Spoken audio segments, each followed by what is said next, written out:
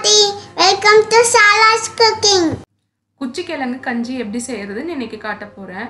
இது எத்தனை பேர் கேள்விப்பட்டிருப்பீங்கன்னு தெரில ஆனால் கண்டிப்பாக ட்ரை பண்ணி பாருங்கள் வித்தியாசமாக நல்லா இருக்கும்.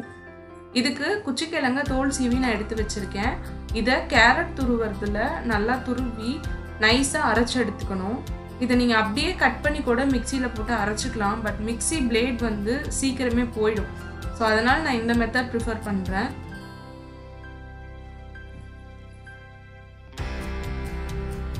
இந்த மாதிரி திருவுனதுக்கு அப்புறமா இதை அரைச்சி எடுத்து ரெடி பண்ணி வச்சுக்கோங்க. தேங்காய் பால் எடுக்கிறதுக்காக நான் ஒரு மூடி தேங்காவை பல்லு பல்லாக கட் பண்ணி சேர்த்துருக்கேன். இது கூடவே ரெண்டு ஏலக்காய் சேர்த்துட்டு இதுலேருந்து ஒரு கப்பு நல்ல திக்கான தேங்காய் பாலாக எடுத்து வச்சுக்கோங்க. இப்போ கஞ்சி செய்கிறதுக்கு தேவையான எல்லாமே ரெடியாக இருக்குது நான் வந்து கருப்பட்டி சேர்த்து இன்றைக்கி செய்கிறேன் ஒரு கப்பு கருப்பட்டி ஒரு கப்பு தேங்காய் பால் நல்லா திக்கான தேங்காய் பாலாக எடுத்துக்கோங்க. நம்ம துருவி அரைச்ச குச்சிக்கிழங்கு பேஸ்ட்டு ஒரு கப்பு இவ்வளோதான் இதுக்கு தேவையானது. கருப்பட்டியில் நிறைய தூசு குப்பைலாம் இருக்கும். ஸோ ஃபஸ்ட்டு நம்ம அதை வந்து பாகு காய்ச்சி வடிகட்டி எடுத்து வச்சுக்கணும். அதுக்கு ஒரு பாத்திரத்தில் கருப்பட்டி அது கூடவே கொஞ்சமாக தண்ணி சேர்த்துட்டு கருப்பட்டி நல்லா கரைஞ்சதுக்கப்புறமா இதை வேறு பாத்திரத்தில் வடிகட்டி நான் எடுத்து வச்சுக்கிறேன்.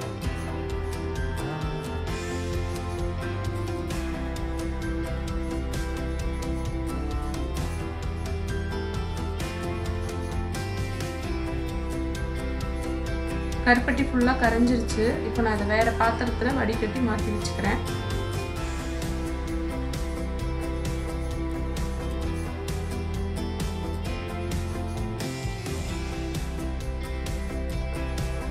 இன்னொரு பவுலில் நம்ம ரெடி பண்ணி வச்சுருக்கிற தேங்காய் பால் அதோட குச்சிக்கிழங்கு பேஸ்ட் அதையும் சேர்த்துட்டு நல்லா கலந்து வச்சுக்கலாம்.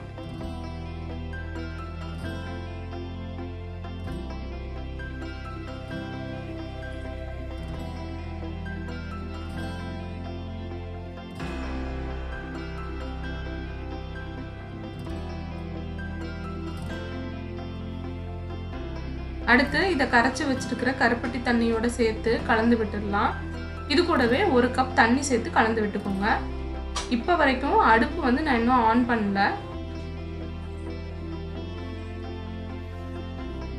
இது எல்லாத்தையும் நல்லா கலந்து விட்டதுக்கு அப்புறமா அடுப்பை ஆன் பண்ணிட்டு லோ ஃப்ளேம்லேயே வச்சுட்டு கைவிடாமல் கிளறிக்கிட்டே இருக்கணும். ஒரு அஞ்சுலேருந்து பத்து நிமிஷம் வரைக்கும் ஆகும். ஒரு மூணு நாலு நிமிஷத்துக்கு அப்புறம் பார்த்தீங்கன்னா இது அங்கங்கே கட்டி ஃபார்ம் ஆன மாதிரி இருக்கும். இருந்தாலும் நீங்கள் கைவிடாமல் கிளறிக்கிட்டே இருந்தால் அது சரியாயிடும். இப்போ ஒரு அஞ்சு நிமிஷம் போல் ஆயிருக்கு. இது நல்லா கெட்டியாக ஆரம்பிச்சிருச்சு. இந்த ஸ்டேஜ்லேயே நீங்கள் ஆஃப் பண்ணுறதுனா பண்ணிக்கலாம். ஆனால் எனக்கு இது இன்னும் கொஞ்சம் கெட்டியாக இருந்தால் பிடிக்கும். ஸோ அதனால் நான் இன்னும் ஒரு ரெண்டு நிமிஷம் எக்ஸ்ட்ராவாக கிளற போகிறேன்